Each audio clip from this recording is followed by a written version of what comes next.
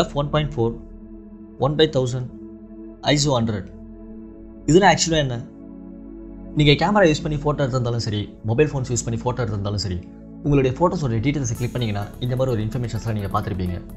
உங்களுக்கு ஒரு சின்ன எக்ஸாம்பிளுக்காக நான் எடுத்த ஒரு ஃபோட்டோஸ் காமிக்கிறேன். இந்த ஃபோட்டோஸ்கில் கூட பார்த்தீங்கன்னா இந்த மாதிரி இன்ஃபர்மேஷன் தெரியும். ஆரம்பத்தில் இதெல்லாம் பார்க்கும்போது எனக்கு இதெல்லாம் இது என்னன்னு தெரியாமல் இருந்துச்சு. எதுக்கு இந்த மாதிரி வேல்யூஸ்லாம் வருது? இந்த மாதிரி நம்பர்ஸில் இருக்குது நானும் ஃபஸ்ட்டில் இதை பற்றி நிறைய யோசிச்சு பார்த்துருக்கேன். பட் போகும்போது தான் தெரிஞ்சது இதோட இம்பார்ட்டன்ஸ் என்னன்ட்டு. இந்த மூணு எலிமெண்ட்ஸுமே தான் ஃபோட்டோகிராஃபியில் ஒரு இம்பார்ட்டண்டான ரோலை ப்ளே பண்ணிட்டு இருக்குன்னு சொல்லலாம். இதை பற்றி ரொம்ப பேசுறதை விட்டு நம்ம ஸ்ட்ரைட்டாக வீடியோக்குள்ளே போயிடலாம்னு நினைக்கிறேன். வீடியோக்குள்ளே போகிறதுக்கு முன்னாடி மறக்காம நம்ம சேனலை இனி சப்ஸ்கிரைப் பண்ணாமல் இருந்தீங்கன்னா நம்ம சேனலை சப்ஸ்கிரைப் பண்ணுங்கள் அண்ட் பெல் ஐக்கனை ப்ரெஸ் பண்ணுங்கள்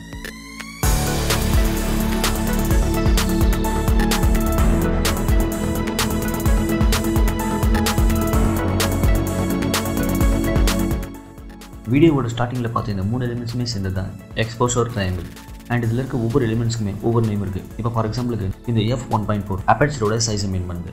அண்ட் இதில் ஒன் பை தௌசண்ட் இந்த வேல்யூ எதை மீன் பண்ணுதுன்னு கேட்டிங்கன்னா ஷட்டர் ஸ்பீடை மீன் பண்ணுது. ஃபைனலாக ஐசோ ஹண்ட்ரட் இந்த வேல்யூ எதை மீன் பண்ணுதுன்னு கேட்டிங்கன்னா ஃபிலிம் இல்லைனா சென்சாரோடைய லைட் சென்சிட்டிவிட்டியை மீன் பண்ணுது. இப்போ இதில் ஃபஸ்ட்டு அப்பேச்சர் அதை பற்றி தான் நம்ம பார்க்க போகிறோம் இதை பற்றி சொல்கிறதுக்கு முன்னாடி லைவ் எக்ஸாம்பிளுக்கு நம்மளோட கண் எடுத்துப்போம். நம்ம கண்ணால் பிரைட்டரான விஷயத்தையும் பார்க்க முடியும். அதே போல் டார்க்கரான விஷயத்தையும் பார்க்க முடியும். ஆனால் ரொம்ப பிரைட்டரான விஷயத்தை பார்க்கும்போது நம்ம கண்ணு கூசுற மாதிரி ஃபீல் பண்ணியிருப்பீங்க இந்த டைமில் நம்மளோட ஐரிஸ் என்ன பண்ணுன்னு கேட்டிங்கன்னா அதிகமான லைட்டை பார்க்கும்போது நம்மளோட ஐரிஸ் சின்னதாக சுருங்கி லைட்டை கண்ட்ரோல் பண்ணி நம்மளுக்கு கரெக்டான அமௌண்ட் ஆஃப் லைட்டை பார்க்குறதுக்கு உதவுது. இப்போ அப்படியே நம்ம அப்பச்சருக்கு வருவோம். பொதுவாகவே இந்த அப்பச்சர் பிளேட்ஸ் எங்கே ஃபிக்ஸ் பண்ணிப்பாங்கன்னு கேட்டிங்கன்னா லென்ஸ்குள்ளே தான் இந்த பிளேட்ஸை ஃபிக்ஸ் பண்ணியிருப்பாங்க அண்ட் இதோட மெயினான வேலை என்னென்னு கேட்டிங்கன்னா எவ்வளோ லைட்டை உள்ளே கொண்டு வரணும் எவ்வளோ லைட்டை உள்ளே கொண்டு வரக்கூடாது. ஸோ இந்த லைட்டை கண்ட்ரோல் பண்ணுறது தான் இதோட மெயினான வேலை. அண்ட் இதை எப்படி டினோட் பண்ணுவோம்னு கேட்டிங்கன்னா எஃப் நம்பர்ஸ் அப்படி இல்லைனா வந்து எஃப் ஸ்டாப்ஸ்னு கூட சொல்லலாம். ஃபார் எக்ஸாம்பிளுக்கு இந்த ஸ்லைடை பாருங்கள் எஃப் நம்பர் சின்னதாக இருக்கும்போது அப்பர்ச்சர் சைஸ் வந்து பெருசாக ஓப்பன் ஆகுது. எஃப் நம்பர் பெருசாக பெருசாக அப்பர்ச்சரோட சைஸ் வந்து சின்னதாக சுருங்க ஆரம்பிக்கும். அப்படி என்ன நடத்துன்னு கேட்டிங்கன்னா லைட் வந்து உள்ள கம்மியாக பாஸ் ஆகும்னு அர்த்தம்.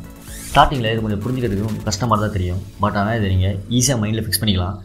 எஃப் நம்பர் சின்னதாக இருந்துச்சுன்னா அப்பச்சரோட சைஸ் வந்து பெருசாக ஓப்பன் ஆகிருக்கும் அதே வந்து எஃப் நம்பர் பெருசாக இருந்துச்சுன்னா அப்பச்சரோட சைஸ் வந்து சின்னதாக ஓப்பன் ஆகிருக்கும் வேறு எங்கெல்லாம் இந்த எஃப் நம்பர்ஸை மென்ஷன் பண்ணியிருப்பாங்கன்னு கேட்டிங்கன்னா லென்ஸ்லேயும் இந்த எஃப் நம்பர்ஸை மென்ஷன் பண்ணியிருப்பாங்க ஃபார் எக்ஸாம்பிளுக்கு இந்த eighty D fifty five millimeter lens எடுத்துக்கிட்டிங்கன்னா இந்த இதில் three point five two five point சிக்ஸ்னு ஒரு நம்பர்ஸ் கொடுத்துருவாங்க. இது ஆக்சுவலாக எதை மீன் பண்ணுறாங்கன்னு கேட்டிங்கன்னா அப்பச்சருடைய சைஸை தான் மீன் பண்ணுறாங்க ஸோ இதை தான் வந்து லென்ஸ்லேயும் மென்ஷன் பண்ணியிருக்காங்க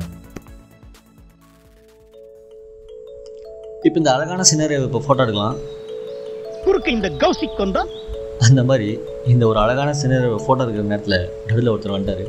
சரி ஓகே இப்போ இவரை வச்சே டெப்த் ஆஃப் ஃபீல்டோட எஃபெக்ட் நம்ம சொல்லிடலாம். இப்போ ஃபஸ்ட்டு இப்போ நம்ம டிஃப்ரெண்ட் அப்பர்ச்சர் சைஸை யூஸ் பண்ணி டெப்த் ஆஃப் ஃபீல்டோட எஃபெக்ட்டை இப்போ பார்க்கலாம். இப்போ ஃபஸ்ட்டு நம்ம லோவஸ்ட் எஃப் நம்பர் யூஸ் பண்ணி இப்போ நம்ம டெப்த் ஆஃப் ஃபீல்டோட எஃபெக்ட்டை பார்க்கலாம். உங்களுக்கே இப்போ டிஃப்ரென்ஸ் தெரியும்னு நினைக்கிறேன். முன்னாடி இருக்க இப்போ இவரு மட்டும் ஃபோக்கஸில் இருக்கிறத நீங்கள் பார்க்கலாம். எல்லாமே வந்து ஒரு மாதிரி பிளரான எஃபெக்ட்டில் இருக்கிறது நீங்கள் பார்க்கலாம். ஸோ இதுக்கு பேர் தான் ஸ்மாலர் டெப்த் ஆஃப் ஃபீல்ட் இந்த ஃபோட்டோ பார்த்தீங்கன்னா ஓவர் எக்ஸ்போஸ் ஆகிருக்கிறத நீங்கள் பார்க்க முடியும். அதாவது பிரைட்னஸ் வந்து கொஞ்சம் அதிகமாக இருக்குது நீங்கள் பார்க்க முடியும். அது ஏன் அப்படின்னு கேட்டிங்கன்னா நம்ம வந்து லோவஸ்ட் எஃப் வேல்யூ யூஸ் பண்ணியிருக்கோம். இப்போ அப்படியே இப்போ இன்னொரு எக்ஸாம்பிள் பார்ப்போம். அப்படியே கொஞ்சம் எஃப் நம்பர் கொஞ்சம் பிகராக எடுப்போம். இப்போ இதில் உங்களுக்கு டிஃப்ரென்ஸ் தெரியும்னு நினைக்கிறேன். ஃப்ரண்ட்டில் இருக்க இவரும் ஃபோக்கஸில் இருக்கார். அதே மாதிரி இவரோட பேக்ரவுண்டில் இருக்க எல்லா விஷயங்களுமே வந்து ஃபோக்கஸில் இருக்கிறத நம்ம பார்க்க முடியும்.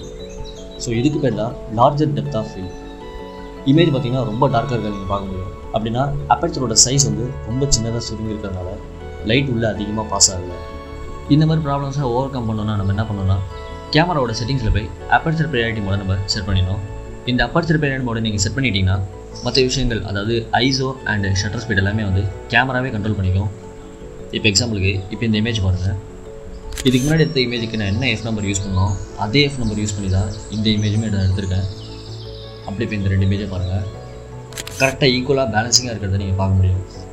அதாவது ஃபோக்கஸும் சரி டெப்த் ஆஃப் ஃபீல்டும் சரி பிரைட்னஸ் லெவலும் சரி மூணுத்துலையுமே இந்த ஃபோட்டோஸ் வந்து பேலன்சிங்காக இருக்கிறத உங்களால் பார்க்க முடியும். ஸோ லாஸ்ட்டாக லேண்ட்ஸ்கேப் ஃபோட்டோகிராஃபிக்கு பிகர் எஃப் நம்பர் யூஸ் பண்ணோம். அதே மாதிரி நைட் ஃபோட்டோகிராஃபிக்கு ஸ்மாலர் எஃப் நம்பர் யூஸ் பண்ணோம். ஃபைனலாக இந்த ஃபோட்டோ கரெக்டான பிரைட்னஸ் லெவலில் வந்தது காரணம் என்னென்னா ஷட்டர் ஸ்பீட் ஓகே நம்ம நெக்ஸ்ட் வீடியோவில் நம்ம ஷட்டர் ஸ்பீட் என்னன்னு பார்ப்போம். அண்ட் அதே மாதிரி ஷட்டர் ஸ்பீடும் ஆப்பேச்சரும் சேர்ந்து ஃபோட்டோஸில் என்ன மாதிரியான எஃபெக்ட்ஸை கொடுக்குது அதை பற்றின டீட்டெயில்ஸை நம்ம நெக்ஸ்ட் வீடியோவில் பார்க்கலாம். ஓகே ஃப்ரெண்ட்ஸ் இந்த வீடியோ உங்களுக்கு ரொம்ப பிடிச்சிருக்குன்னு நினைக்கிறேன். இதே மாதிரி தொடர்ந்து நம்மளோட சேனலை சப்போர்ட் பண்ணுங்கள் மறக்காமல் இந்த வீடியோ பிடிச்சிருந்துச்சுன்னா லைக் பண்ணுங்கள் ஷேர் பண்ணுங்கள் அண்ட் நம்மளோட சேனலை சப்ஸ்கிரைப் பண்ணுங்கள்